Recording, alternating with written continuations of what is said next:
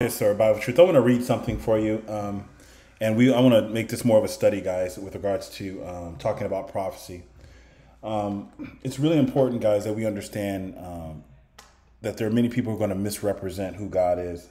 And I told you the scriptures tell us to beware. God warns us to beware of the leaven, to beware of the concision, to beware of their doctrine, because He tells you that their doctrine is to make merchandise out of you. And um, I think a lot of people find it hard to believe that um, that men would coordinate on such a large scale to fake Bible prophecy, and that's exactly what's gone on. That there's people who obviously have a global intent for world quote unquote domination, even though they're all ruled over by death. But they want to make merchandise out of you for the short time that they're here, right? And then, of course, they want to pass it down to whoever they think is their insiders or whoever they want to pass it down to. And this is kind of one of these things where people are doing it and they're being wicked and they're trying to use the word of God deceitfully to justify their murder and their theft and their lies, right? So um, we're going to cover a prophecy that many people say is a failed prophecy.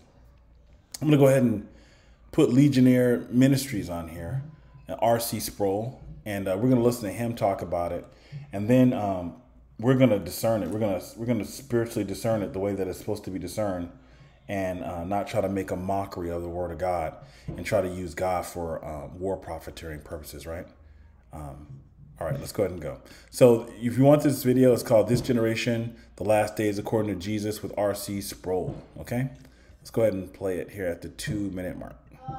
By our knowledge, as I've mentioned, that that which precipitated the whole discourse, Jesus' prediction of the destruction of the temple in Jerusalem and the destruction of the city of Jerusalem, did in fact take place within the time frame of 40 years as these so he's already doing this and he's telling you what he the conclusion. He's saying well when jesus talked about the destruction of the temple and he's talking about the destruction of the city He's saying, well, that did happen in 40 years. Okay. Now, I'm going to go ahead and let him play, but we're going to get back to a couple of things we want to cover. We want to cover the destruction of the temple, and we're going to cover the destruction of the city and the destruction of Israel. Because I've seen this whole thing where they're documenting the 70 AD. In fact, um, last night I watched several documentaries on it right? Oh, the 70 AD, Romans sacked it, and this was the day of vengeance and all this stuff. But let's go ahead and listen. Events unfolded in AD 70. So I think, again, we see and feel the weight of the problem. I, I labor this point for this reason. I'm not convinced that evangelical Christians really do feel the weight of this problem. And that's part of the problem of ignoring higher criticism and simply preaching to the choir and, and talking to among ourselves and not really listening to this criticism that is raised. And we have to give an answer to these critics uh, that have devastated uh, uh, Scripture and the person of Christ. And so I think it is our obligation as Christians who believe in uh, the deity of Christ and in the uh, inspiration of the scriptures to feel the weight of this burden and to address it as we encounter it. Now, there are many scholars who feel that the escape hatch from all of this difficulty is found in verse 32 of Mark 13. Immediately following the time frame reference that Jesus gives, again in verse 30, he says, Assuredly, most certainly, I say to you, this generation will by no means pass away until all these things take place. Again, let me remind you that the statement that Jesus makes here is made in emphatic terms. I can't conceive of Jesus being any more emphatic about the time frame than he is here when he says, Assuredly, I say to you that this generation will by no means pass away until all of these things take place. Okay. So let's step back, guys. Let's go. Let's go up to the top and let's just kind of read it because I know we're talking about this. Um, it talks about, but in those days after that tribulation, The sun shall be darkened, and the moon shall not give her light. And the stars of heaven shall fall, and the powers that are in heaven shall be shaken. And then shall they see the Son of Man coming in the clouds with great power and glory. And typically, when the scriptures talk about great, it typically talks about a great multitude, like a great multitude of angels, right?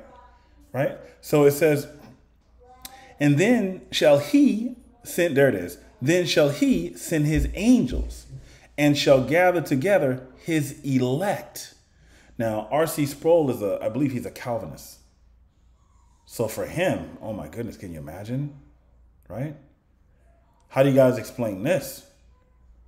He says, The Son of Man shall come in the clouds with great power and glory, right?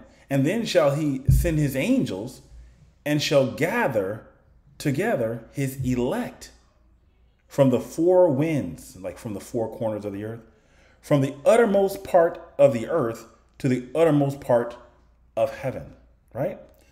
Then it says, Now learn of a parable. It talks about how the parable in the mouth of a fool, right? Now learn of a parable of the fig tree.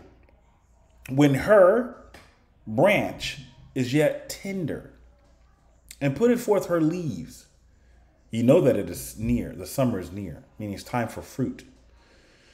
So ye in like manner, when ye shall see these these things come to pass, when you see these things come to pass, like it says, when you when ye shall see these things come to pass, know that it is nigh, meaning when you see these things, know that it is nigh, even at the door.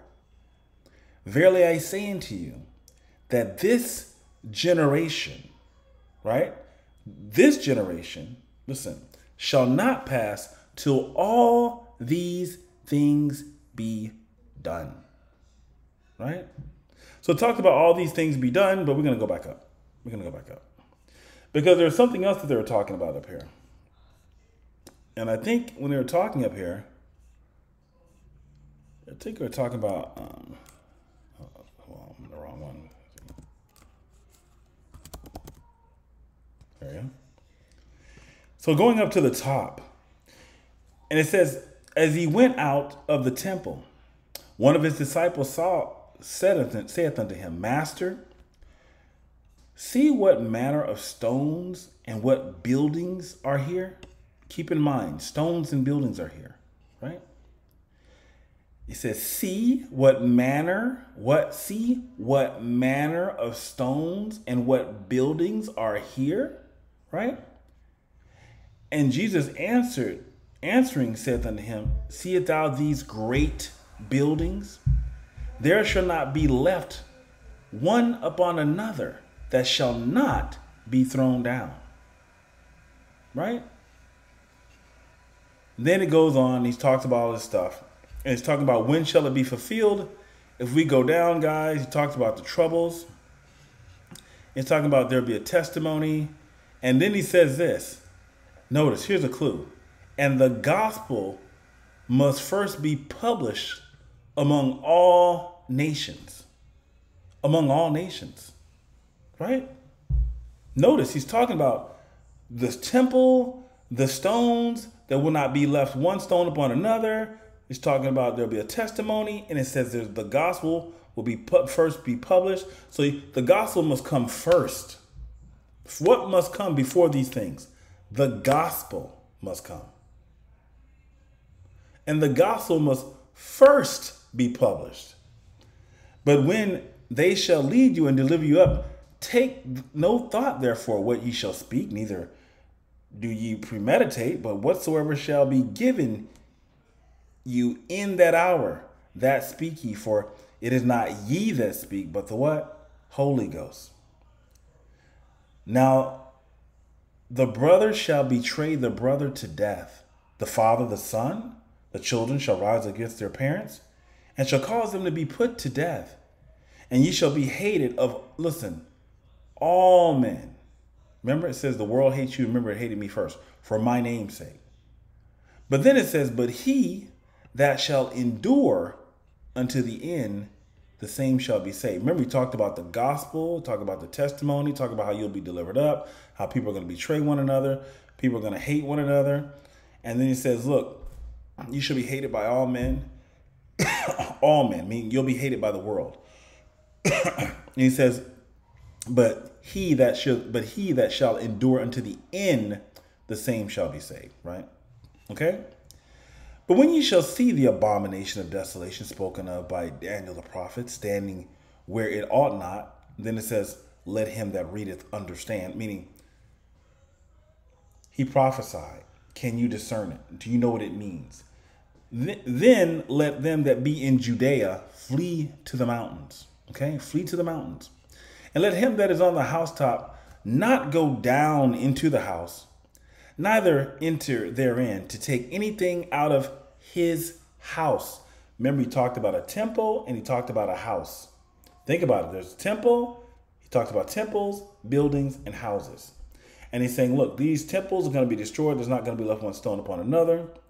And he talked about the buildings, which are the temples and the houses. And he says, there will not, don't go into your, the, your house. And he says, don't go to take anything out of your house. Okay? And let him that is in the field, right, not turn back again for to take up his garment. So it's talking about a temple, a house, a building, a field, and a garment, right? But woe unto them that are with child, and to give, and to them that give suck in those days.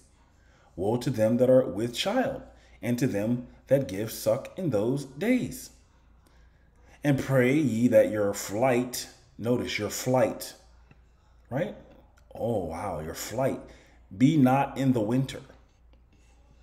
For in those days shall for in those days shall be affliction such as was not from the beginning. Listen to this. This is really important. He says, In those days shall be affliction such as was not from the beginning of creation. Okay? Which God created in this time, neither shall be. Meaning, it won't be like anything before, and there'll be nothing like it afterwards.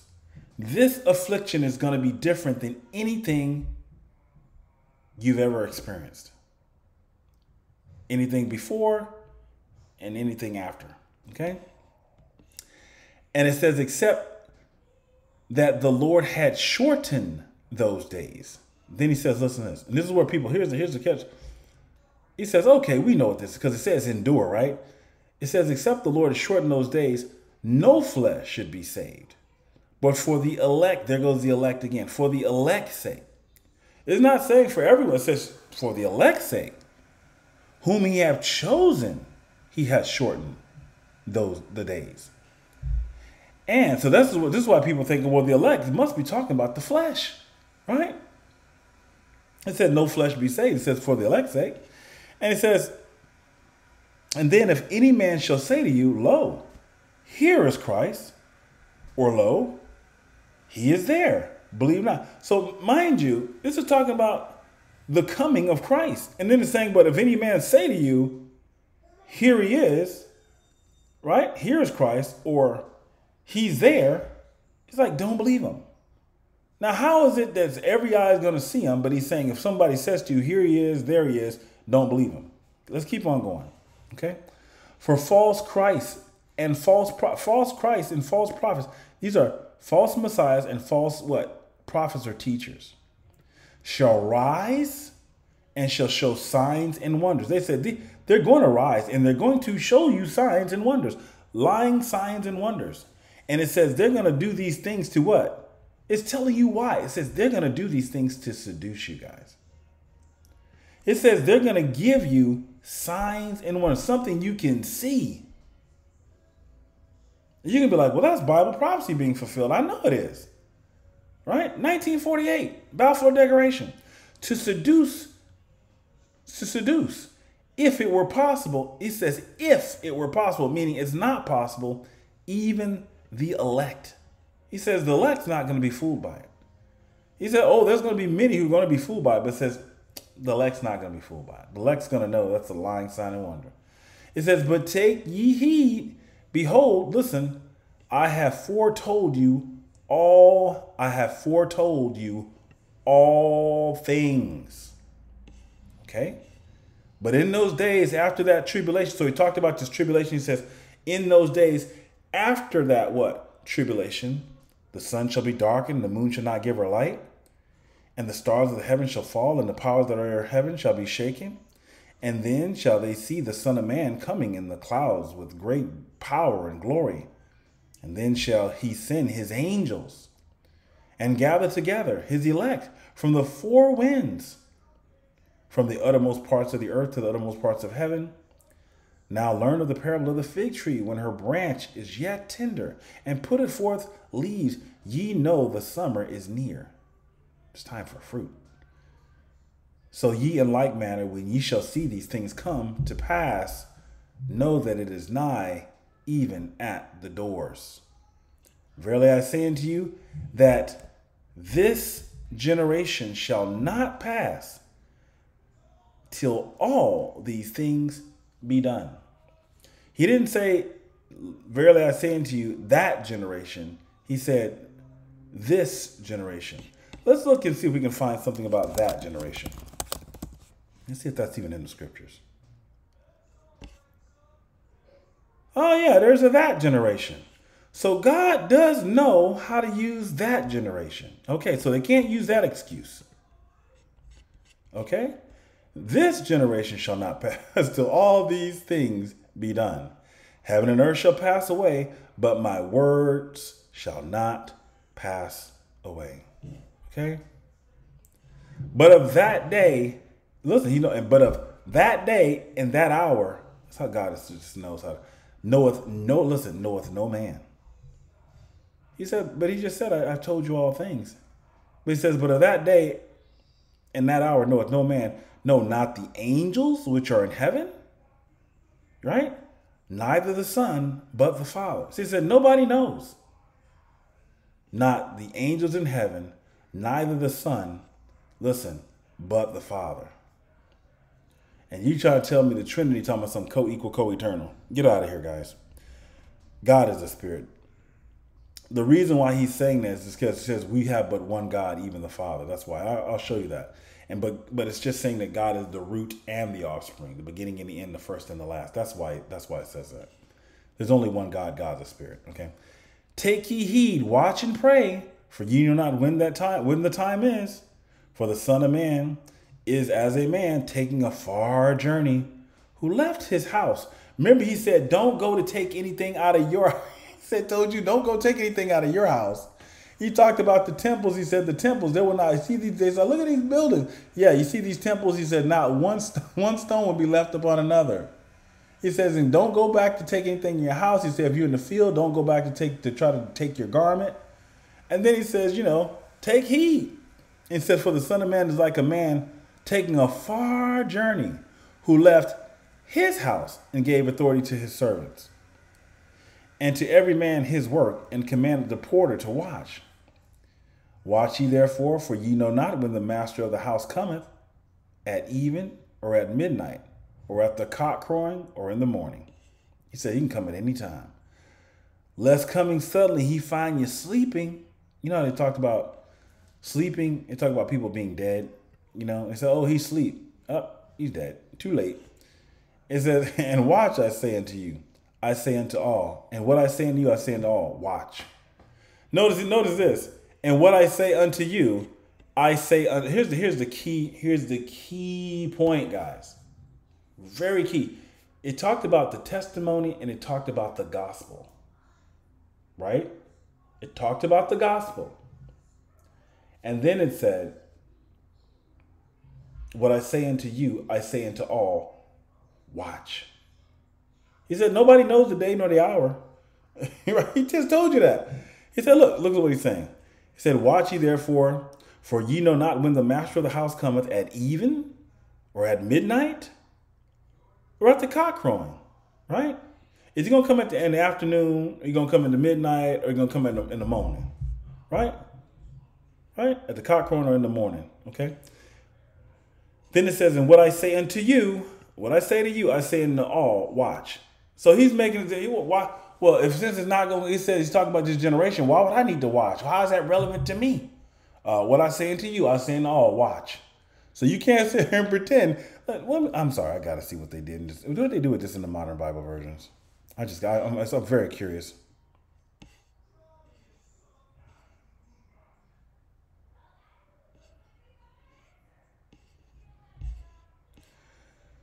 Okay, it's in essence, it's it, it's still somewhat the same, right? Okay, let's go back to R.C. Sproul here. Then he goes on to amplify that by saying, Heaven and earth will pass away, but my words will by no means pass away. So Jesus is hanging an awful lot of his own credibility mm. on what he's saying here. Sure These are my words, and my words. Will last longer than the heaven and the earth. So then we hear the escape hatch in verse 32. But of that. By the way, when he says, My words shall last longer than the heavens and the earth, what does that tell you? When Jesus said, My kingdom is not of this world, what does that tell you?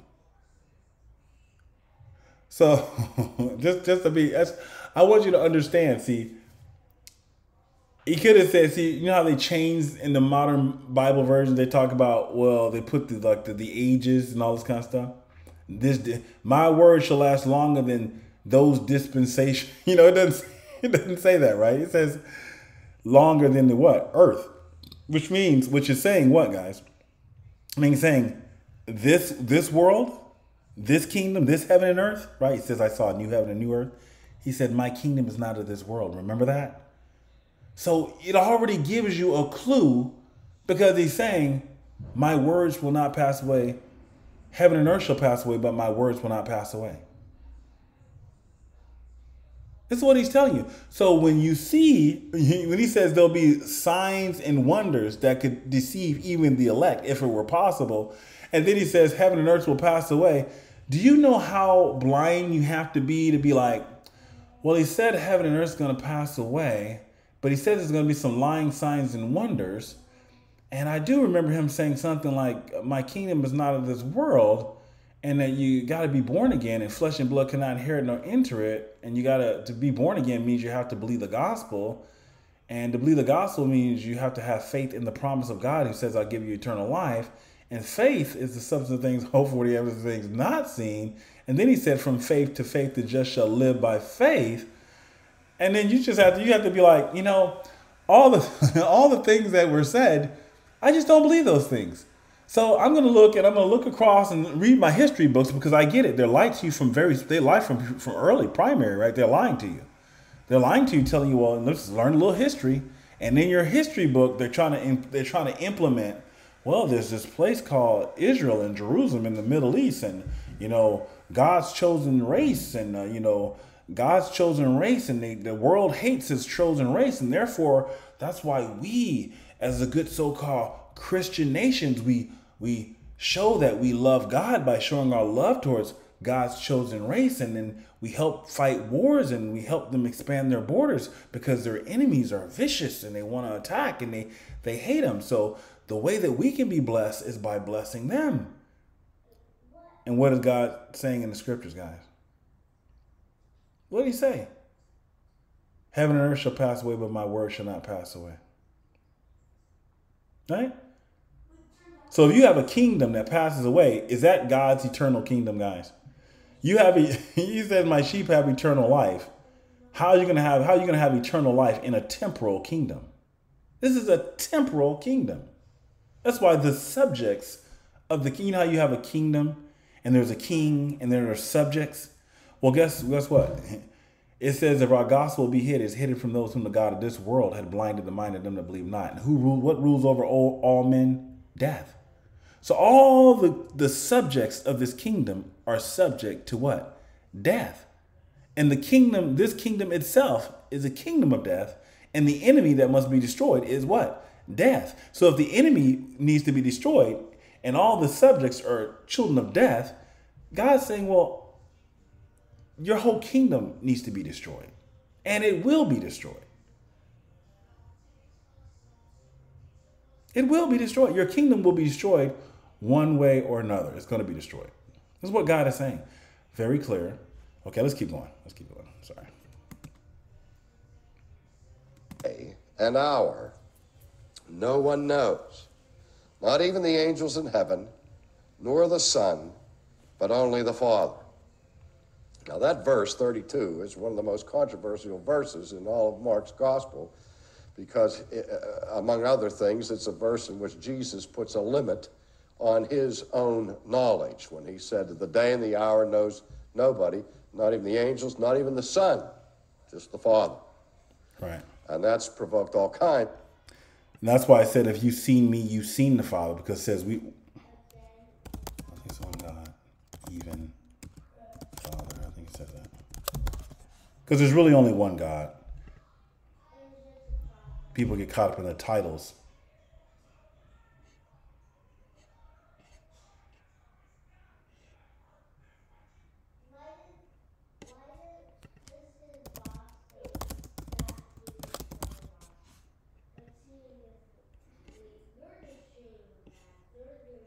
But to us there is but one God, the Father, of whom are all things, and we in him, being found in him. And this on, but found in him, found in who?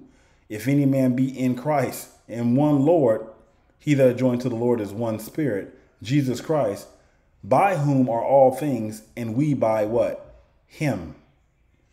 what happened to the let us? it's like it's like and guys you got to understand the reason why it says let us is because it says god chose us in him before the foundation of the world. Because god's like basically saying well you know you you know you're you're you're you're you're a man that was made of the earth that's of the of the world that's temporal that's going to pass away all things will pass away. That's a temporal that you don't have eternal life. When you're formed from the dust of the earth it means you're going to pass away you're going to die all flesh shall perish, and men shall turn again into the dust. So God said, Look, well, I know, I know you're the children of the flesh are not my people, right? So they're gonna have to believe the gospel. So there's gonna have a, there's gonna be a time when they're gonna have to, you know, they're gonna be living in their world, and he's saying people are gonna come to them and preach the gospel, and they need to, they need to believe that gospel. But there's going to be many other people, children of the flesh, who are in this world who are going to be caught up with the cares of this world, looking at the treasures and the worries and all that kind of stuff. And because of that, because they're so caught up with the world and with their greed and filthy lucre's sake and trying to make war and make merchandise, and because they're trying to manipulate and, and lord over one another, a lot of them are going to hate the gospel and say it's foolish. Like, why would I believe the gospel? Look at all the money and all the land and all the treasures and all the riches and all the stuff I get down here. Why in the hell would I want that? And they don't understand life down here is but a what? A vapor. This is so short. You don't really see in the scheme of eternity. It, it, it's so foolish to not believe the gospel in the scheme of eternity, guys. It like I I don't even know how to tell you how small a time this is compared to eternity. It's it's ridiculous. It really is. It's, it's like that's why it talks about if any man be wise in this world, let him become a fool. Because it's like you're losing. You know, people when you look at uh, stock markets, when you look at stock charts, they they say, well, you know, when you sometimes you're a little too close, you're looking at the ups and downs and stuff. And it says, and when when in doubt, uh, zoom out. Well, zoom out. Look look at the bigger picture. Look at look at. You can't even get the bigger picture of eternity. Eternity doesn't fit in your window frame right? You look out the window, you can't see past the horizon of eternity. You can't see it, right? It's like everlasting. How, how do you measure everlasting, guys? You can't. You can't. So that's why I'm saying, you know, the Father is really the only one God. There's only one God. He's a spirit. But, you know, he has the, the titles Father, Son, Holy Ghost. That's what he's saying. And he's saying he comes in the likeness of what? sinful flesh. He comes fashioned as a man, even though he's a spirit. Because when we believe, then we're hidden. Our life is hid in God. We're not in the flesh, but in the spirit. But God says, I'm going to quicken that old man of sin, which isn't serving me. But that's all the children of this world can see. They can only see the outward facade, the old house, the old tabernacle, right? So it's absolutely, I don't want to go too much into it, but because I want to get to this and I don't want to make this super, super long, guys. I understand. So it's important because I have to say that because the reason why I had to tell you that is because obviously if uh, R.C. Sproul is saying, well, it's weird because, you know, this this breaks the Trinity, right? Oh, well, you know, it's Jesus. It's controversial because Jesus is talking about the limitations. You know, he's given limitations to his quote unquote deity. And then what I'm telling you is, I'm saying, well, actually, God is a spirit. Period. The flesh of Jesus is not God. Was not God in the past, and will never be God. The flesh of Jesus is mortal. That's why it could die. So there's only one God, the Father. But God comes, the title, Father, Son, Holy Ghost. Now, you the way that I should be able to prove this to you, you should say, well, Marcus, you know what? You're saying that, but why don't you just show me a verse that proves that Jesus is the Father of the children of God? Show me a verse that shows me that Jesus is the Father of the children of God. And you say, well, if you can show me that from the scriptures, Marcus, then I'll believe you. But until then, you're just talking, right? Got it. So, what we do is we go to Revelation, which is the revelation of who, guys? Revelation is the revelation of who, guys? The revelation of Jesus Christ. Right? That's what the revelation the revelation of Jesus Christ. So, we're going to go here to Revelation 21 9. And there came unto me one of the seven angels. Now, remember when we were just reading in Matthew, it talked about angels. It talked about him coming with his angels.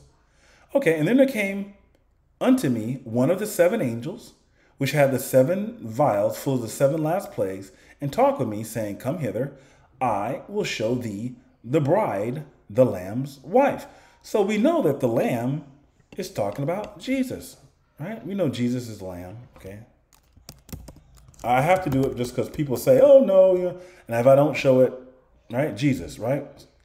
Behold, Jesus, the Lamb of God, right? Lamb of God. Upon Jesus as he walked and said, Behold, the Lamb of God. Okay. So we know Jesus, we, we know Jesus is the Lamb, right? Okay. We got that. So the Lamb has a wife. Okay? The Lamb has a wife. The wife's lamb, and he carried me away where? In the spirit, Nicodemus. Why in the spirit? Because flesh and blood cannot inherit nor enter the kingdom of God. That's why. So he carried me away in the spirit to a great and high mountain and showed me that great city, right? What's the great city? Holy Jerusalem. Well, given that he said, Heaven and earth shall pass away, but my word shall not pass away, if someone says, Hey, the holy city of God is in the desert, they built it with contractors and subcontractors and night after 1948, do you should you believe that lying sign and wonder, or should you be like, that's a lying sign and wonder? God said his kingdom come not with observation. He said, My kingdom is not of this world. And he said, The kingdom of God is within us, and the kingdom of God is at hand. Why would the kingdom of God be within us? Because Jesus is the door. And the way that you enter Nicodemus is you must be born again. You got to be in Christ. You have to be born into the kingdom. Makes sense, right?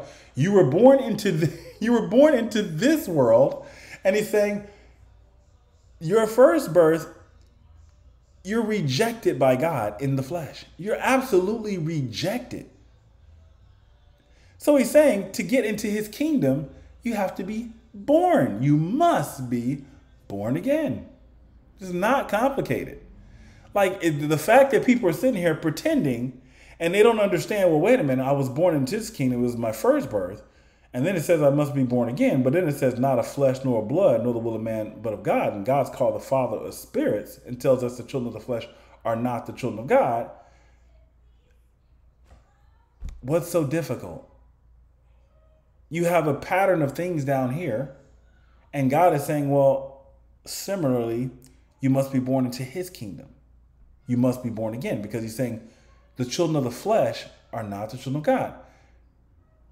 Surely you're not naive and blind, so blind that you think you're God's people because a man and a woman had sex, or you think that uh, that uh, you think that well God is my God is my father, Abba Father, because um, He's going to take some of my flesh and combine it. No, He's like I'm not taking. That's another man's child with another man's wife. I'm that's not you're that's not you're not you're not my you're not my people. You're not my children. Children of the flesh are not the children of God. So we know that it talks about, Come, I will show ye the bride, the lamb's wife. He took him in the spirit to a great and high mountain and showed me that great city, holy Jerusalem, descending out of heaven. Don't get confused and think, well, holy Jerusalem descending out of heaven is going to mean that you're going to look up in the sky one day and you're to see, oh my goodness, I'm to see some big giant bricks and I'm to see this and that. No, remember, the kingdom come not with observation. Flesh and blood cannot inherit nor enter it. Remember that.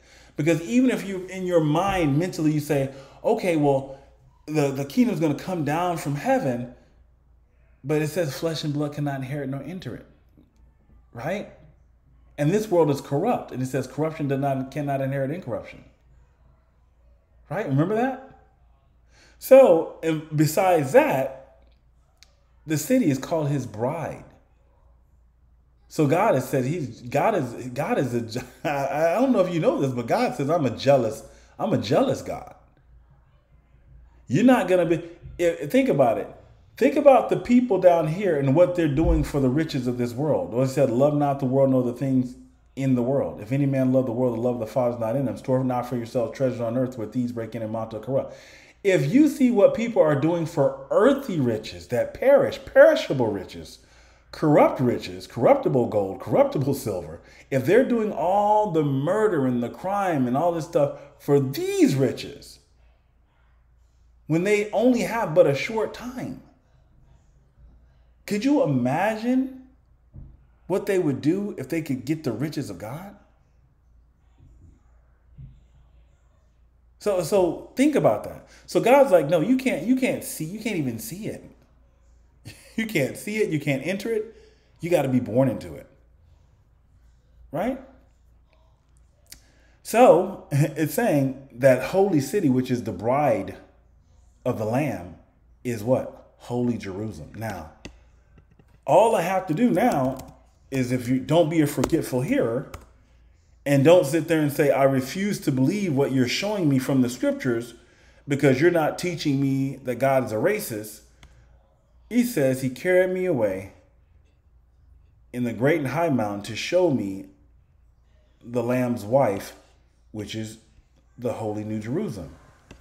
And he's saying the Lamb's wife, Jerusalem, above, again, heaven, is mother of us all. Not some, but all. But all of who? All of us who've been born again, not of flesh nor blood nor the will of man, but of God. All of the children of God have been born from heaven, Jerusalem, above. We've been born into the city. So this is what this is why I say heaven and earth. You know people have borders and they say, well, you know, we gotta we gotta build some build that wall so we don't get them illegal aliens trying to come up in here and invade our country, them foreigners. Well, guess what? you can't enter God's kingdom. You can't enter God's kingdom. You have the illusion you know, because this world essentially is just divided against itself. The world is all the people who are fighting in all these different lands and these countries, guys. Those are all brothers according to the flesh. These are all brothers of the first Adam. Everyone who's fighting, I don't care what you look like, I don't care how different you look, that's just the first Adam. You guys are all fighting. All the first Adams, these guys are murdering and killing each other for their mother earth. They're all killing each other for their mother. They're like, Mama, Mama, give me more treasures. Mama. They're killing they're killing each other, and then their father is death. their father is death. Death death reigns over them. Right?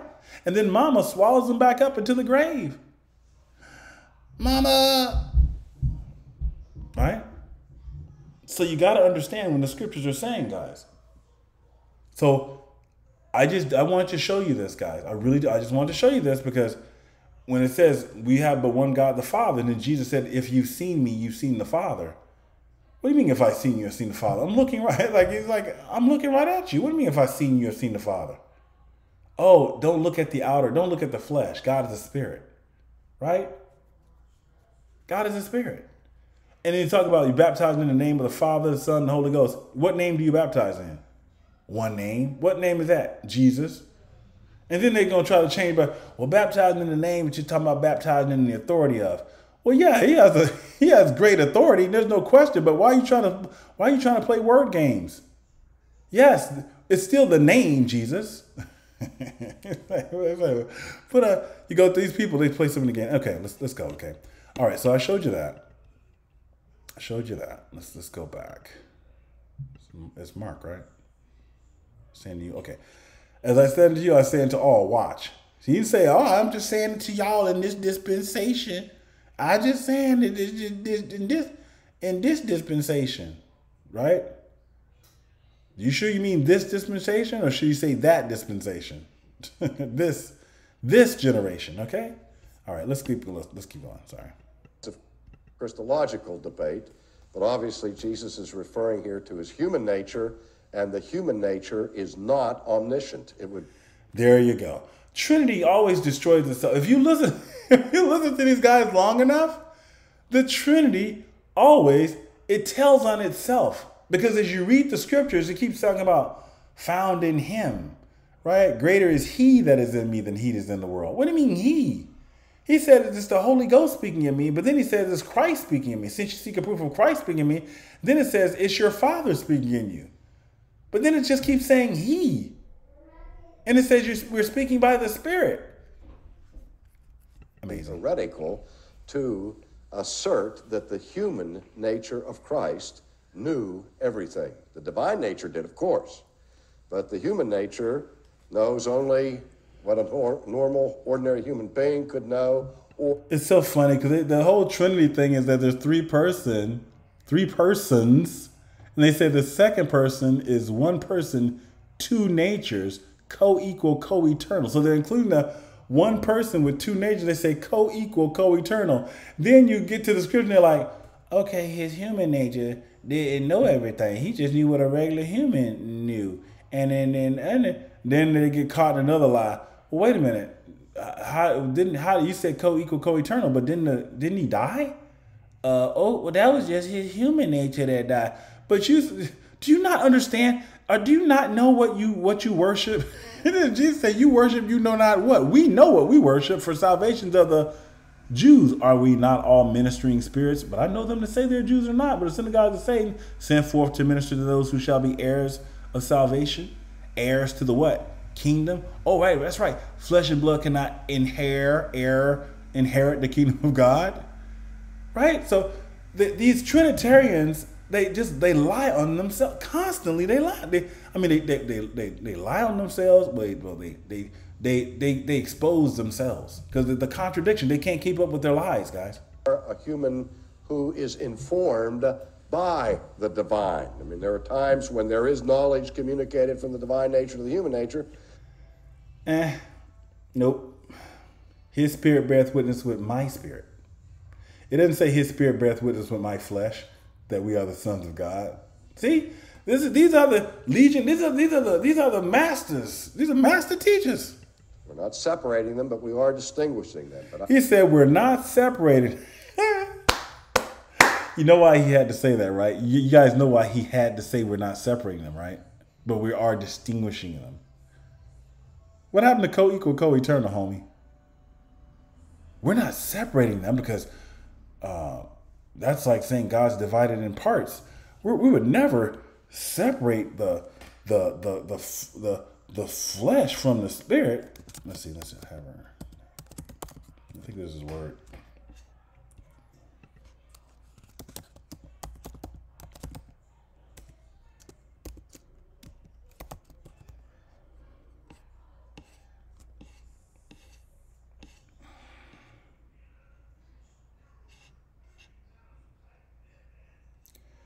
Thought there was this, phrase, tab, tab, I thought it was a tabernacled.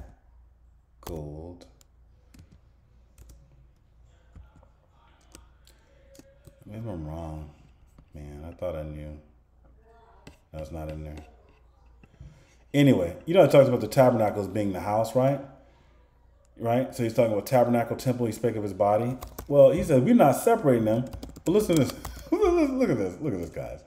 This is, now, I, the reason why this is important. This is a man who's teaching. He's high, R.C. Sproul is highly esteemed knowing that shortly I must put off this my tabernacle, house, temple, by temple he spake of his body, knowing that shortly I must put off this my what? My body, even as our Lord Jesus Christ had showed me. we're not separating them. You guys heard anyone else say stuff like this? See, these Trinitarians, they, they tell them themselves. He told on himself, he said something, and then he realized, ooh, that's a contradiction. I thought I was teaching co-equal, co, co, co, co-equal, co-eternal. God's all-knowing. He's omniscient, omnipotent, and omnipresent. right? That's what he said. They say one thing and then they're like, uh, oh, oh, oh, oh, I just made a mistake now. Okay, uh, and he just says it, but he's in. It's like a classroom, like, and when you're in a classroom, you should be able to raise your hand and be like, "Excuse me, teacher. I'm sorry, teacher. I'm sorry. I got a question." You mean you're not separating them?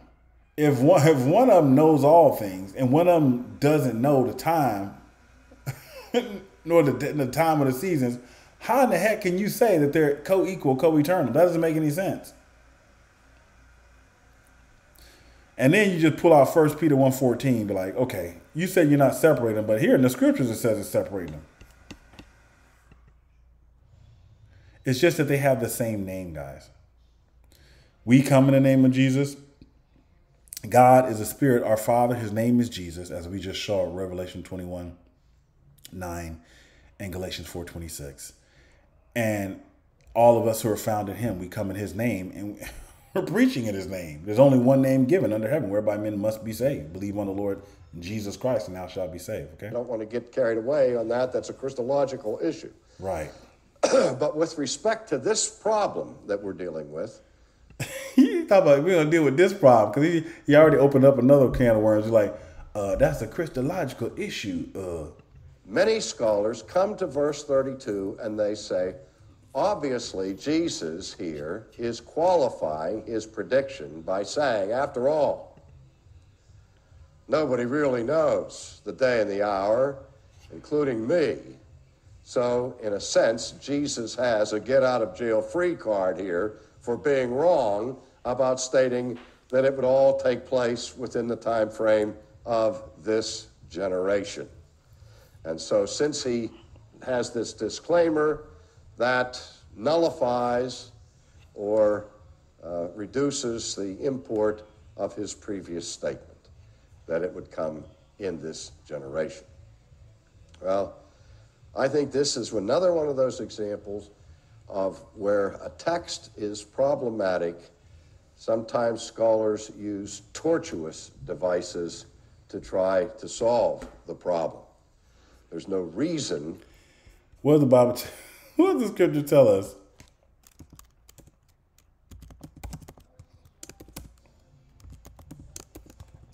He said the scholars. Wait, wait, what is that? Wait a minute. It says we're not ignorant.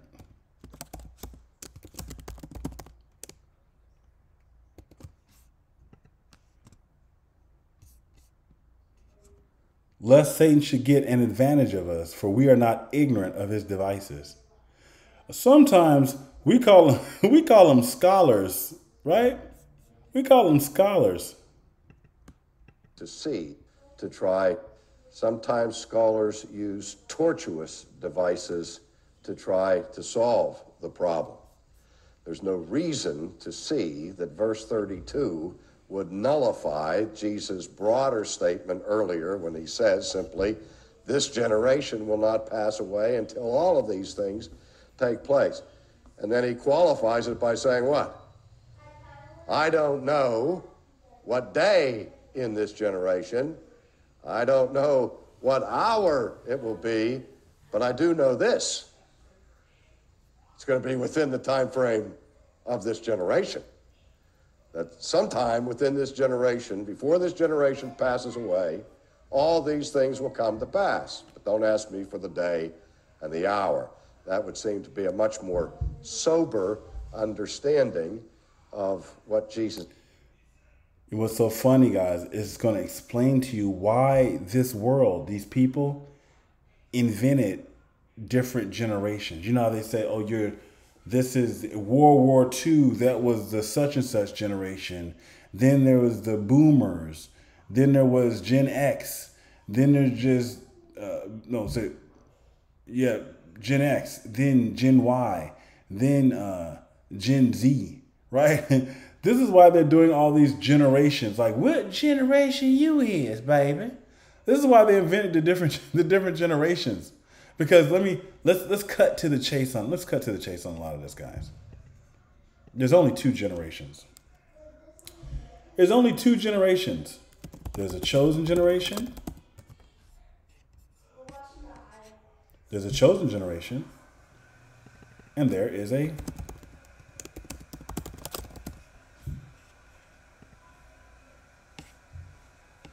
There's a wicked generation, okay? There's a wicked and adulterous generation. There's only two generations in the scriptures. Guess what generation you start out in, Nicodemus? Guess. Why do you need to be born again? Because you're of the wicked generation. Right? Once you're born again, you're found in Him.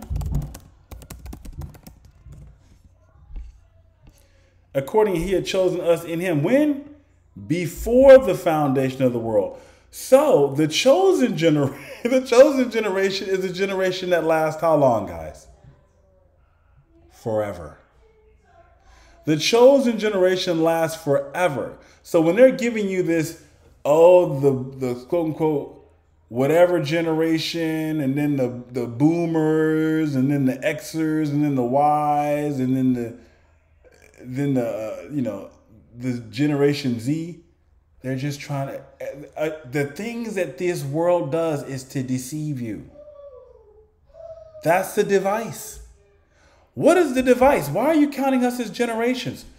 Um, so that when you look at the scriptures, your mind will reference these false generations when God is saying there's only two generations.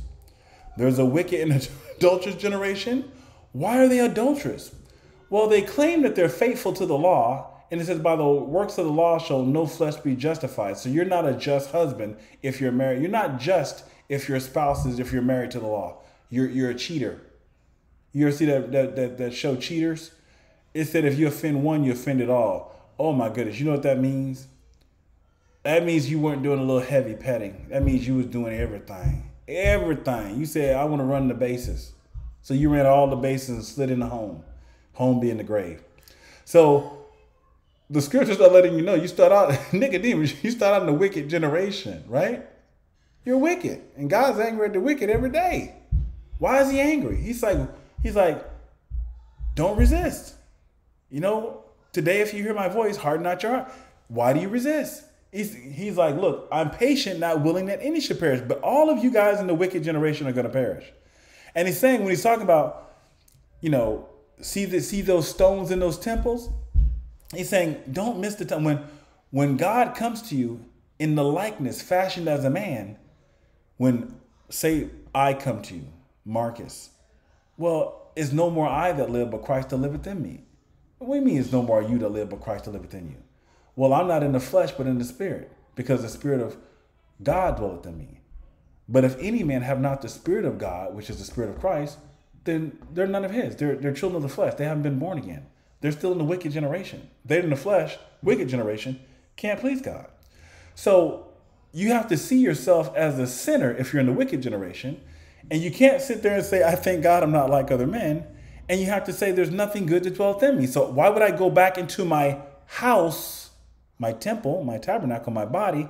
Because I know that in my flesh dwelleth no good thing. That's why when you're in the field, which is the world, right? Your father sowed into the flesh of your mom, and he reaped a child of what? Death. You sow into the flesh, you shall the flesh reap corruption. You sow into the spirit, preach the word in season, out of season, you shall of the Spirit reap what? Life everlasting. It's a different field. One field is in heaven. Jerusalem above is free as mother of us all. Be fruitful and multiply. One field has corrupt seed, and all the fruit withers and falls away. The, the, the fruit of the tree, of the corrupt tree, is rotten fruit. You know how they have the thing with the apple and the worm? You're like, this fruit is infested. There's pestilence in the land and the worm dieth not, and the fruit just keeps perishing and falling to the ground and rotting into the grave. Right? So, guys, it's it's It's when you believe the gospel. I'm cutting to the chase on this because I don't want to make this too long. When you start out, you're in a wicked and adulterous generation and you must be born again. But when you're born again, you're born again a new creature. And that's why it says, when he says, This generation shall not pass away until all these things be fulfilled. The reason why he's saying that is because he says, If any man be in Christ, he's a new creature. Old things are what? Passed away. Behold, all things are become new. But now, since you believe, you believed when you were what? Of the wicked generation. That's when you had to believe Nicodemus, when you were in the wicked house, in the of the wicked generation. You had to believe and you had to deny yourself. Then, when you believe, you can say, What? I've been what? Crucified. Old things have passed away with Christ. I'm not in the flesh, but in the what? Spirit. Lively stones built up a spiritual house, a holy priesthood to offer up spiritual sacrifices. You don't go try to go back to the flesh. It says, Are you so foolish? Have begun in the spirit? Are you now made perfect by the flesh? They that are in the flesh can't please God. God's called the Father of spirits. So that's when you say he'll, he'll come with his angels.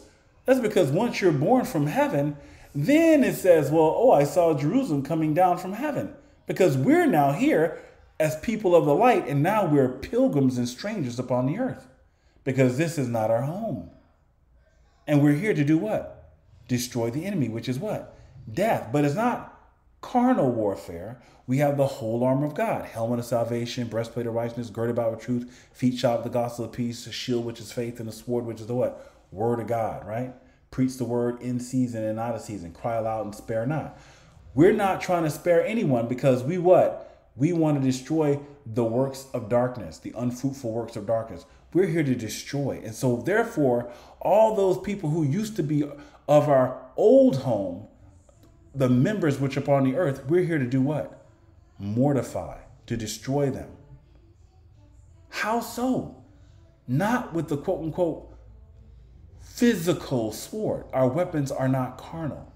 We're destroying them by preaching the gospel so that they can be destroyed the same way we were destroyed. Simply by believing the truth. Old things are passed away, destroyed. Behold, all things have become new. You're not in the flesh, but in the spirit. So we're the chosen generation because we've been what? Regenerated. And this is why the scriptures say he chosen us be in him being found. Where are the sheep found? Where are the sheep found? In him before the foundation of the world, because he's the only one that's righteous, right? The spirit is life because right that we was him, we should be holy. Oh, I saw a holy city.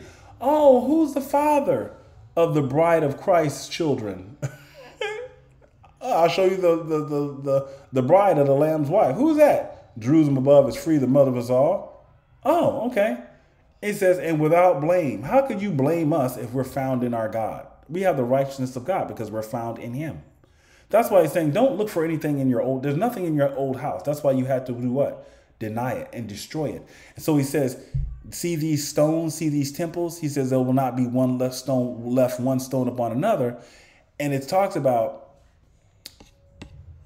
he says, listen, and will not leave within me within thee one stone upon another, because thou knewest not the time of thy visitation. Basically saying, all you have to do, guys, the way that you look at this is look at it like this. There's Adam who who sinned, and he says, you know, he says, From dust was I formed, and back to dust will I go, right? And so think about Adam and Eve as being a house. And then Eve came out of what? The house of Adam, right? Formed from the dust.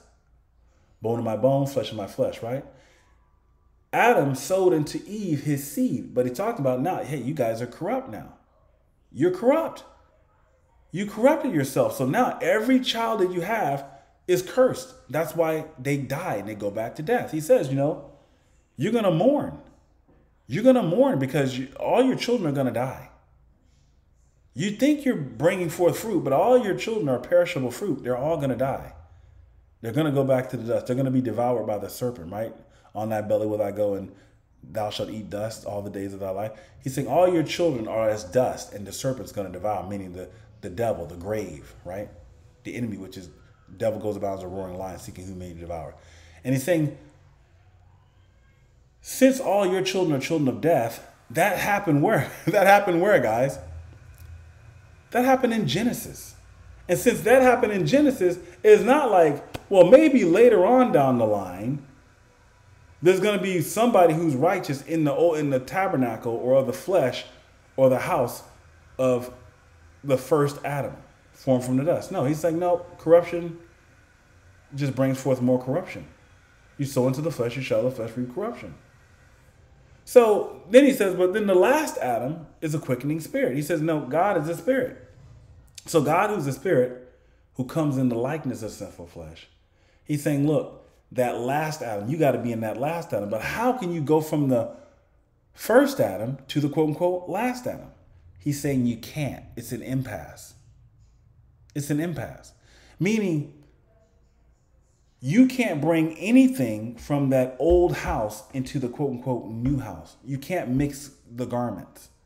You can't mix a temporal garment that perishes with a what? Eternal garment that does not perish. You can't mix the mortal with the immortal, light with darkness, corruption with incorruption. You cannot mix it.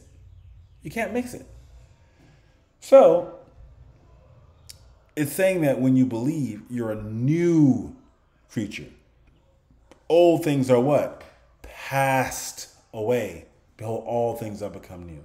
So now you're in the quote unquote last Adam. And he's saying when you believe the gospel, everything, all the stuff that you, this world is kind of is like an illusion. This world is kind of like an illusion. It's temporal. And I won't even get into all this other stuff, but uh, let's just put it this way: all the so-called science, sci-fi movies you see, and all this kind of stuff, guys, those movies, some of that stuff that says it's like everything that is is the way that it is. There's actually nothing new under the sun. You may have the illusion that there's something new, but there's nothing new under the sun. Right? He's like, there's nothing new. And this is why people say, well, where's the promise of his coming? When is Jesus coming back? Because they don't realize that Christ comes fashioned in the likeness of all of us who are no longer children of the flesh. It's like we're the quote unquote aliens. You know, when on TV, I told you how they're mocking you with the quote unquote generation, the boomers, the Xers, the Y, the Z, right? They're mocking you because they're trying to put in your mind this idea of these different generations and this illusion of quote unquote progress. They know they have to do that. They need they need to keep things moving. Right? And the other thing that they need to do to keep you uh, to keep you tricked and keep you fooled is they need to fake Bible prophecy. They need to say, well, we used to be very blatant about lying and saying that God is a white man. And you go to Europe right now, there's evidence that they believe that. You go look at the Sistine Chapel and go to the Vatican and go to your local churches, synagogues, hall, whatever, temples, systems, whatever. You see the fake three Abrahamic faiths that all they do is like in the past, you look at what they've done and what they still do is they're colluding to war profiteer and making merchandise out of their members, right? That's all they do. They're just making merchandise out of all the so called people. That's what they do. And so it's what the scriptures are saying is that all these guys do is they sit there and they're they're organized in in in, in orchestrating divisions, but it's kind of like a coordinated division because they they want to make enemies so they can do what? Or they say what's the word? I don't know, balkanize or consolidate lands and territories. And so they're working together. They're actually colluding. But you think at the bottom, when they're they're, they're like, oh, that's our enemy. But at, at the top, they're like, okay, how, how many are we to sacrifice? We're to start a war. Okay, how many are we to do? What's to happen? Like the war, what's to happen? A lot of times it's, it's already drawn up, right? Already drawn up, orchestrated. So I just want you to know that the war, that the real war, the real enemy is what? Death. That's the real enemy. Death. But guess who's the one who, who can who can defeat death? Obviously, God says, "Look, it's my good will and pleasure to give eternal life to all those who believe." That's why it says, "Without faith, you can, it's impossible to please Him," because He's like, "Look, I told you to believe. All you got is it's, it's, it's, it's simple. Just believe, right?" He tells you that the man Jesus, God, who's eternal, comes in the likeness of mortals, fashioned as a man. So he came fashioned as the man, Jesus Christ. And with that mortal body of his, that mortal body, God's not mortal, but his mortal body that he put on, came fashioned in, That's the one that died, the man Jesus Christ. Right? Paid the legal sin debt with his blood of that body, right? And then he says, Look, that was the sacrifice that you guys made because you're the ones who killed your brother Jesus according to the flesh. All right? You're the one who killed him. You sacrificed him. And God, knowing that the children of the flesh in them dwelleth no good thing, that they're liars and murderers and do the works of their father the devil, he says, I knew that you would do this thing. I knew you would murder the man Jesus. But what you need to understand is the words, the, the words that I speak to their spirit and their life, the truth isn't the flesh. It's the spirit that bears witness. The spirit is truth. But you've been you you did these things thinking that you were doing one thing, but God knew your wickedness and he used your wickedness. And he's saying, now you got to understand that that the man Jesus whom you crucified and, and exalted on the cross, he says he is the one that lords over you. It's crown of thorns. Just like in the desert, he says, now you're in the desert. There's a serpent up on a rod. You need bread and water, and there's serpents everywhere, and you're getting bitten. You're getting bitten because you're vipers. You're a generation of vipers. You're serpents. You're a wicked and adulterous generation. And he says, He's the bread of life, He's the living water. And He's telling you, Look, I, I'm going to come in the likeness of, of a bondservant. I'm going to come in the likeness of Egyptian of an Egyptian. Remember, because Egyptian Egypt represents bondage, right? Egypt's a pyramid scheme, right? People trying to climb to the top of the quote unquote man-made mountains, right? To lord over one another, right? And he's saying, I'm going to come in the likeness fashioned as a man. But don't look at the outward appearance. It's actually, it's actually Christ in my saints. They're all ministering spirits sent forth to minister to them who shall be heirs of salvation. So he's telling you who the true people of God are. And he says there's going to be many people who are going to come and claim that they're doing things in his name, and they're going to be war profiteering and spilling blood and using his word wickedly and deceitfully. And he says they're going to fool many people because of their greed, right? They're going to lie to you because they're not going to want to tell you. Why would they tell you the truth about the scriptures if they're using the scriptures to make merchandise out of you, that would be like them saying, hey, we've been lying, not just this year, but we've been lying since what? Since the beginning of time. we've been lying since the very beginning. You think they're going to tell you that? To tell you that would mean they're done lying. They can't help themselves.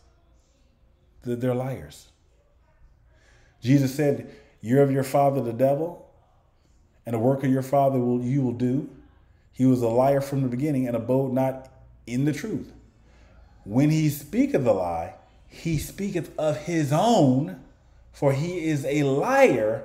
And listen to this part. And the father of it, father of lies. Right? And all men are liars.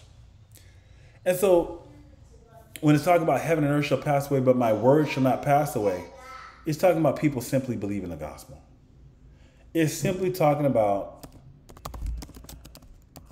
people simply believing the gospel, guys. Because we endure, but a lot of people want to endure sound doctrine, right? Right? It tells you beware of the leaven. It says beware of the doctrine of the Pharisees and Sadducees. Can you endure sound doctrine? If I'm sitting here and I'm telling you these things, I'm telling you about God, who's a spirit. I'm telling you about the gospel, how you're not going to be justified by the law, how the legal sin debt was paid by the man, Jesus Christ, who's not God.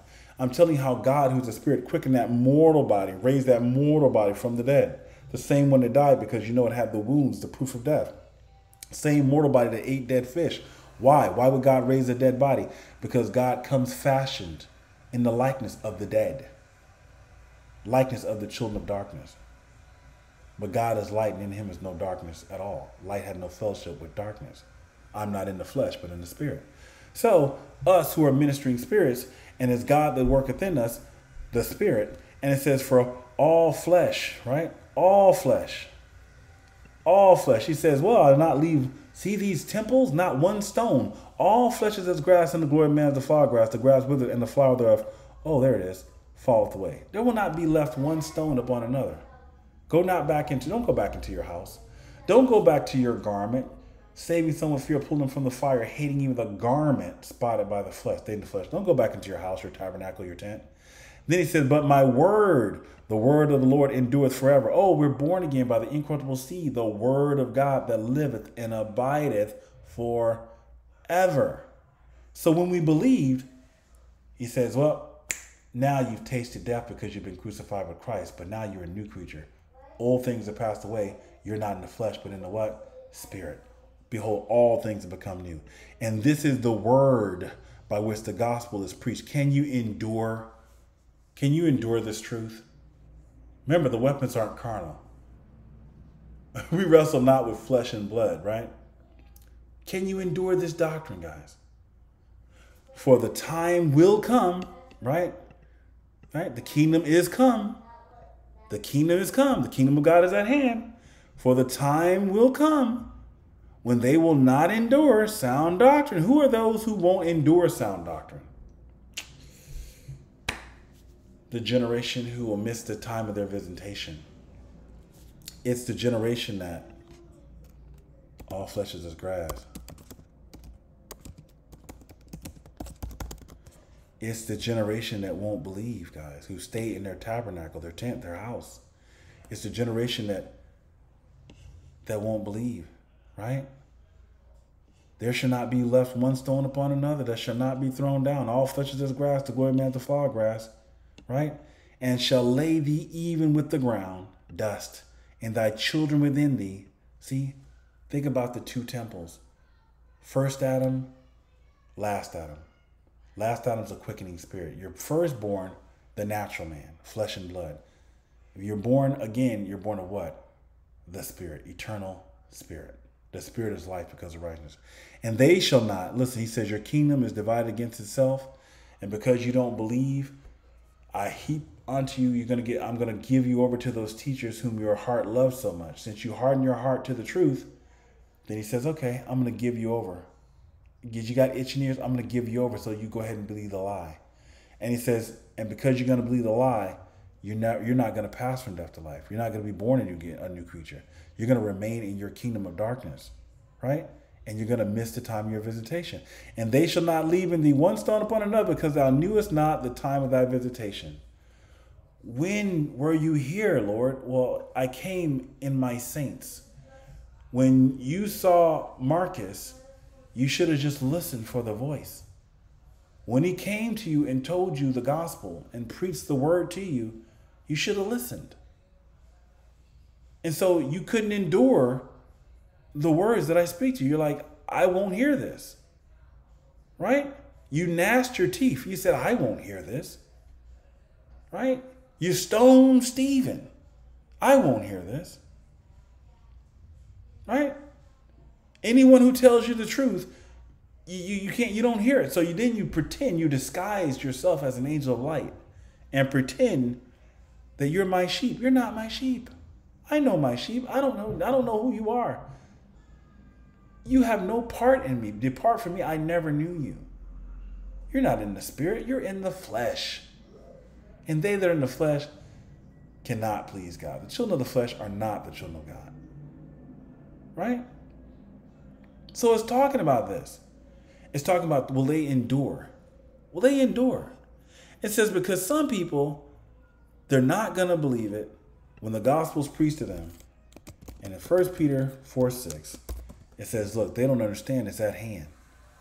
They don't understand the end of all things are at hand. For this cause was the gospel preached also to them that are dead. Right? In the first Adam, dead I saw the dead raised. You're of the resurrection of the dead. All the children of the flesh are in the resurrection of the dead. Us who believe we're the resurrection of eternal life. It's just that our old body has been quickened. The dead body has been quickened, but that's no more us. Romans 7. He says, The gospel is preached to them that are dead, that they may be judged of sin because they believe not on me. Why don't you believe? The legal sin that's been paid. All you got to do is believe that God, who's a spirit, is merciful and gracious, will give you the free gift of eternal life. And you don't have to try to work the law because the, the man, Jesus, who was made a curse, made to be sin, he paid the legal sin debt with his blood. So now you just need to believe God, who's the spirit, who's the same God who raised the mortal body of the man, Jesus, and is the same God who says, I'll give you the free gift of eternal life if you just believe the promise. And you don't make God like the what? Corruptible man. Right? So the gospel preached to them that are dead, they may be judged according to men in the flesh. Remember, he took me in the spirit to a great and high mountain, right? But live according to God in the spirit. But then here's here's the thing. Here's the thing. Old things have passed away, behold, all things have become new, right? Let's go back. First Peter. Wicked that we did the generation, guys. He talked about this. He talked about things pass away. Heaven and earth shall pass away, but my word, right? If any man be in Christ, he's a new creature. Old things are passed away. You're no longer of this world. Behold, all things have become new. Jerusalem above is free as mother of us all. You've been born again into the kingdom, the eternal kingdom, right? Right? But my word shall not pass away. And then it's saying, well, wait a minute.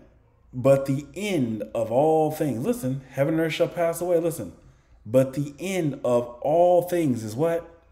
Is at hand. Right?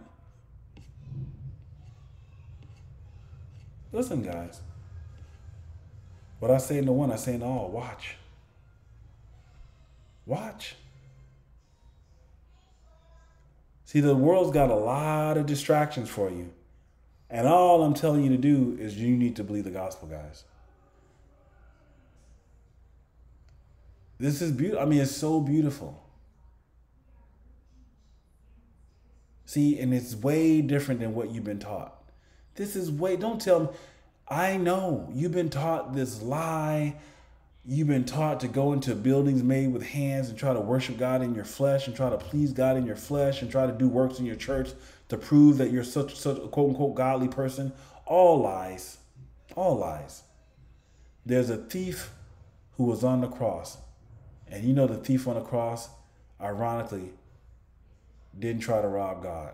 Because he says, I'm not going to try to steal your glory because I know you won't give your glory to another. So I'm going to deny myself. And he, that thief on the cross believed, and he said, I, I'm not trying to get anything out of this old garment. Let this garment hang, right? Hating even the garment spotted by the flesh. But a lot of these people claim to give you guys gifts, and they're giving you false gifts. They're giving you false gifts. They say, Oh, I'm preaching the gospel. They're giving you false gifts. They've given you a false God. They give you a false gift. It says, But the end of all things is at hand. The end of all things is at hand. This world is temporal. When you when you're born again into eternal life, that is the end of the old you. That's not even you. Paul said it. Look, Paul said, he said, let's go Romans 7, let's say 16 ish.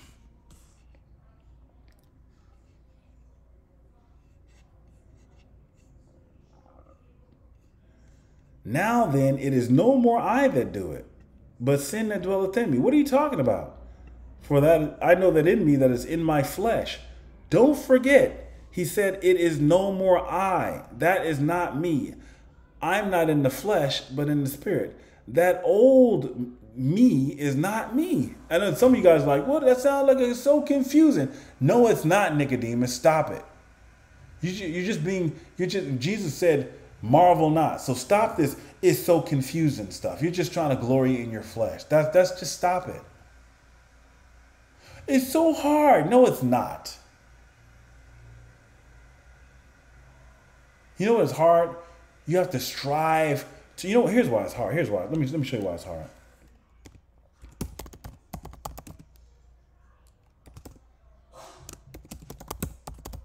It's so hard Here's why it's hard. It's called pride. In meekness, instructing those that oppose themselves, Pharaoh. It's so hard. right? It's so hard to acknowledge the truth. I just, so hard. I love lies. I love the lies. What did my father? I remember my. I remember my daddy told me. I remember my papa told me I was of the chosen race.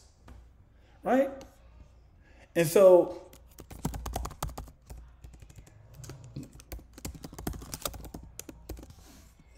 You think, here's what it is. You thinking, well,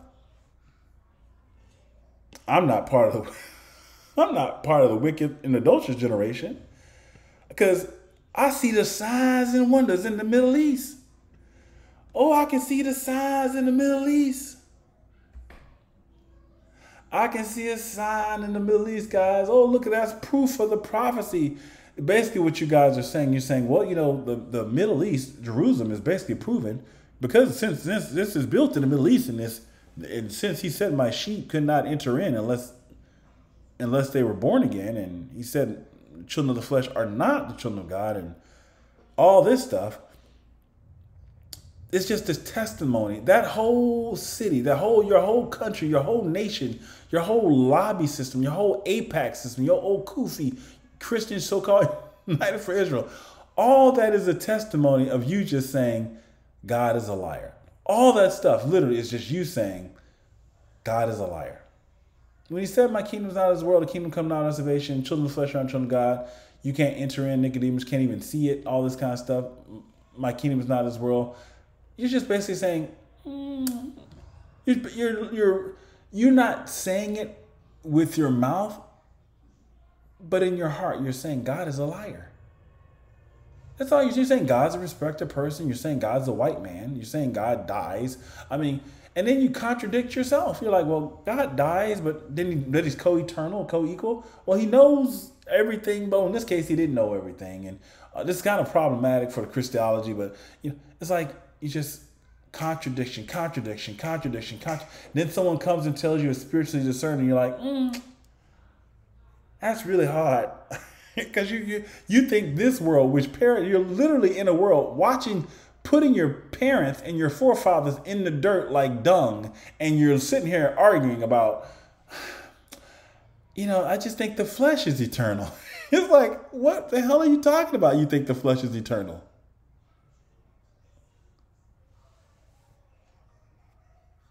It's insane. So they say, well, you know what?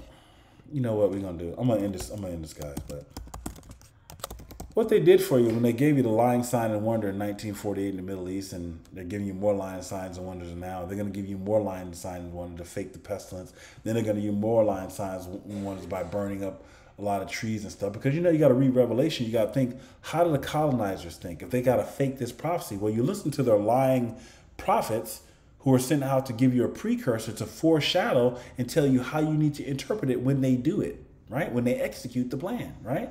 So they say, well, it says something about famine. So what are they going to do? They're going to they're going to cause famine. But what's the true famine, guys? Who has the bread of life? What's the true famine? God is saying, I got, what are you talking about? I got enough bread. I'm not running out of living water. Let whosoever come and take. They're like, I'm not going to be a beggar. he said, God's like, all you got to do is believe. They're like, I'm not to humble myself. That makes me a beggar. I'm eating sumptuously every day. So to fake the prophecy, when God explaining that the famine is talking about the word of God because there's so many liars in the world, right? And God's like, I have this, uh, my graces, I, I have I have so much bread. I got so much bread. I got so much grace. I got so much grace. I got so much grace, but you got so much so much pride. Right? So there's a famine. And people are dying of what, guys? What are they dying of? Why do men perish? myocarditis, pericarditis. Men die because of what? Heart failure, unbelief. They're faking prophecy even to this day. The pestilence, men's hearts filling them for fear of things coming upon the earth right? They're faking prophecy. They've been faking prophecy since before Christopher Columbus set sail, y'all. And the Bible says, I know them to say they're Jews are not. And they said, you know, this whole being regenerated, making you the chosen generation, talking about some you're born again of incorruptible seed, right? A peculiar people that show forth the praise of him that call you out of darkness. So you know it's not talking about this world because it says this world, it says if our gospel be hid, is hidden from those from the God of this world that blinded the mind of them that believe. And I said this world is a world full of darkness. Apparently, if you're in heaven, there's no darkness in God's kingdom, right? It's a kingdom of light. It says this is the kingdom of darkness, right? But many people just want to call God a liar. And they said, you know what? Since you guys don't want to believe the truth, you know, I'm going to help y'all with your interpret- interpretation. What did, what does Sproul say? He said there's many torturous devices that the scholars, he said the scholars got many torturous devices. So instead of being chosen generation, all ministering spirits, they said, well, how can we keep it about keep it about the flesh? They said we're gonna say that the the the spiritual man is the natural man, right? Even though it says the natural man receiving not the things of the spirit of God, right? Neither can he know them because they're spiritually discerned. But he says instead of it being chosen generation, they said let's put in the word chosen race. See? Because there I say the interpretation has to be, must absolutely be the lie that God has a chosen race according to there's chosen people in the flesh. Well, they're chosen for destruction. That's that's been proved positive. You know, that's the testimony. The earth is bearing witness against them. Mama telling on them. And mama said, I'll cover, I'll cover it up. Bury the bodies. I know bear, don't let the just don't let the, bury the bodies. Bury, bury them. I know, and they all they're all lies. Let's hide the proof that they're not the people of God. Just hide it. mama said, swallow them up, swallow them up. devour her own children. That's a shame. It says they say, let's put chosen race in here. Chosen race, chosen race. Right? Chosen race, chosen race. Guys, look at this. Elect race, YLT, chosen race. And of course, our good friend Darby.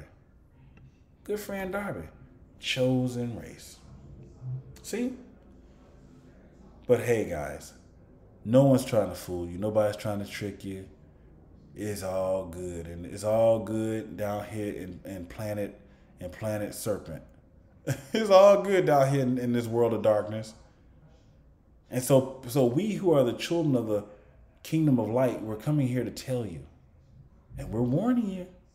We're warning you. And some of y'all love the riches of Egypt so much that you won't even believe the gospel. We're not down here asking you for your money. We're just telling you to do something so simple. You have to believe who God says He is. And God is a spirit named Jesus. Right? Don't confuse the flesh, the man Jesus that died, with God who's a spirit named Jesus. Don't think that there's children of the flesh who are the children of God, because they're not. Don't think that you're going to be justified by keeping the law, the legal sin that has already been paid by the blood of the man Jesus Christ. Right?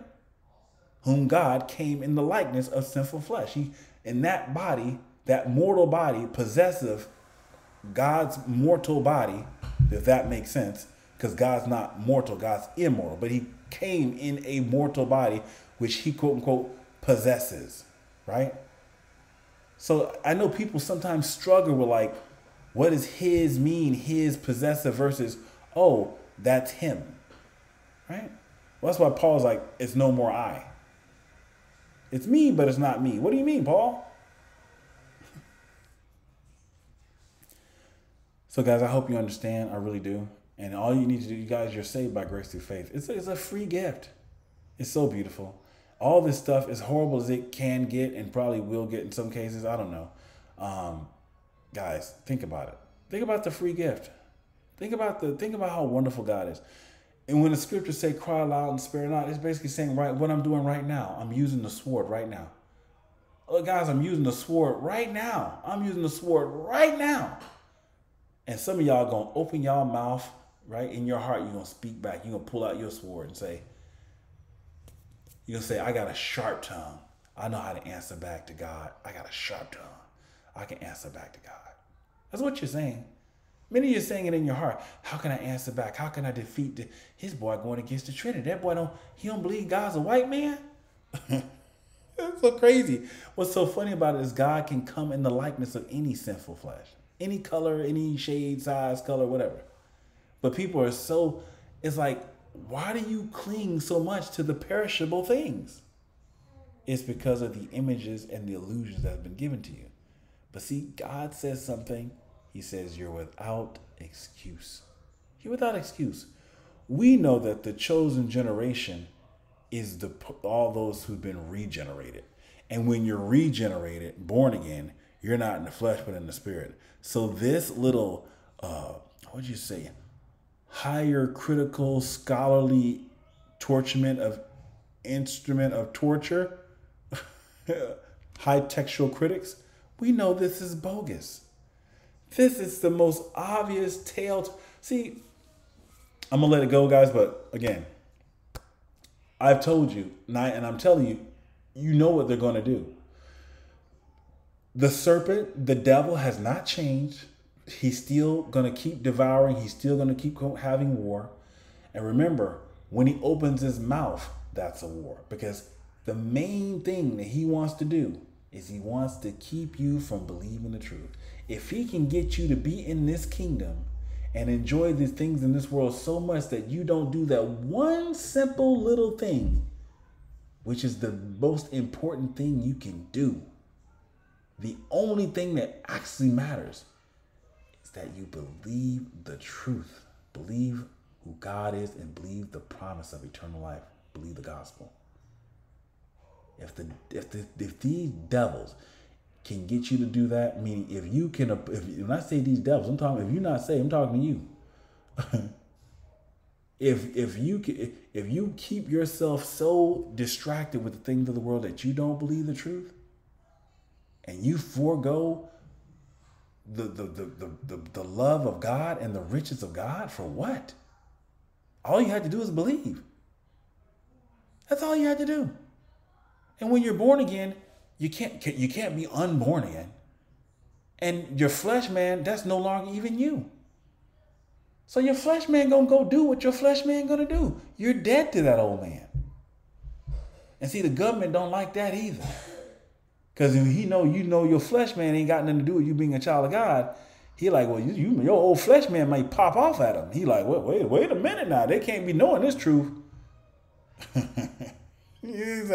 That's, that's dangerous. This boy, now he, he know that his flesh man ain't got nothing to do. He may pop off. All right, guys, I'm gonna let it go.